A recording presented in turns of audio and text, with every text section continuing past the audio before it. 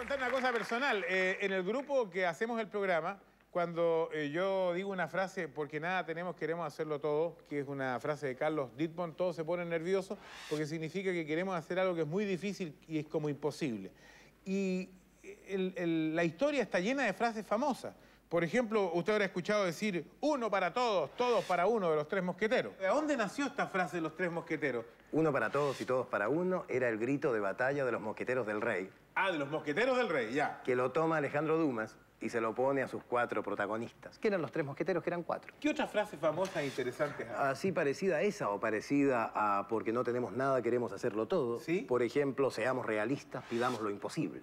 Seamos realistas. Buena frase. ¿Quién lo dijo Bonita eso? frase. Eso apareció escrito en los muros de París por ahí por octubre de 1968 durante los movimientos estudiantiles. ¿Sabe una que me gustó mucho? Una que dice, las batallas contra las mujeres se ganan huyendo. Buena frase. ¿Quién la dijo esa? No sé, ¿tú la practicas? Todos la practicamos. Yo creo. Todos la practicamos. Pero ¿quién fue el que, el que inventó la frase? Eso es lo importante. Napoleón, que debe haber tenido alguna experiencia al respecto, ¿no es cierto? ¿Mm? Hay sobre el amor, hay muchísimas frases más. ¿ah? Por ejemplo, es natural que las mujeres no quieran a quienes las quieren y amen a los que las aborrecen. Eso lo dice Cervantes en el Quijote. Oye, es natural, eso sí es una pura verdad.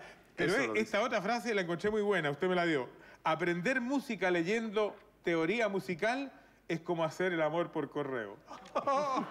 ¡Qué buena frase! Eso lo dijo Luciano Luciano, Pavarotti. Pavarotti. Pero respecto del amor también podríamos recordar la frase de un presidente de la República, don Arturo Alessandri, que se la sacó a La Fontaine y que decía, el odio nada engendra, solo el amor es fecundo. Está bien eso. ¿Mm? La experiencia es como un billete de lotería comprado después del sorteo. Sí, eso es de Gabriela Mistral. Gabriela y yo te podría sumar una sobre el mismo tema de Oscar Wilde. La experiencia es la suma de nuestros propios errores. ¿Cuál otro se podría decir? Eh, respecto a lo mismo, a la vejez y la salud, bueno, si no fumas, no bebes y te cuidas, tienes la gran ventaja de morir sano. Esa está buena. Vamos a...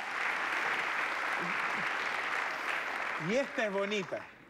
Sin imaginación, el hombre carece de alas. Sí, qué bonito es eso, ¿no? Eso es de Muhammad Ali, De Mohamed Ali. de Muhammad Ali.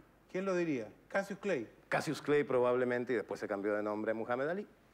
Bueno, vamos a cerrar eh, con esta gran frase que yo quiero que la diga usted del hombre cuando por primera vez salió de la tierra. Este es un pequeño paso para un hombre, pero es un gran salto para la humanidad. Ahora uno no sabe hasta qué punto en la actualidad estas frases, más que hechas en el impulso de la emoción del momento, en realidad están previamente escritas por algún publicista ingenioso. Nunca se sabe. Ya no se sabe ya. Gracias, Gustavo Fría, por estar hoy día en nuestro programa.